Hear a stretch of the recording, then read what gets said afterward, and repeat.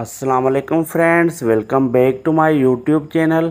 तो फ्रेंड्स, आज के इस वीडियो में मैं आपको मशरक बैंक मोबाइल एप्लीकेशन में बेनिफिशरी ऐड करने का तरीका बताऊँगा। तो सबसे पहले आपने मशरक बैंक मोबाइल एप्लीकेशन को ओपन करके लॉगिन कर लेना है। मशरक बैंक मोबाइल एप्लीकेशन को ओपन करने के बाद आपके सामने कुछ इस तरह का इंटरफेस नज़र आएगा। यहाँ पर आपको पे का ये ऑप्शन मिलेगा। आपने इस पर क्लिक करना है। पे केस इंटरफेस में आपको सेंड मनी का ये ऑप्शन मिलेगा। आपने इस पर क्लिक करना है। अब यहाँ से सिलेक्ट बेनिफिशियरी के इस ऑप्शन पर क्लिक करेंगे।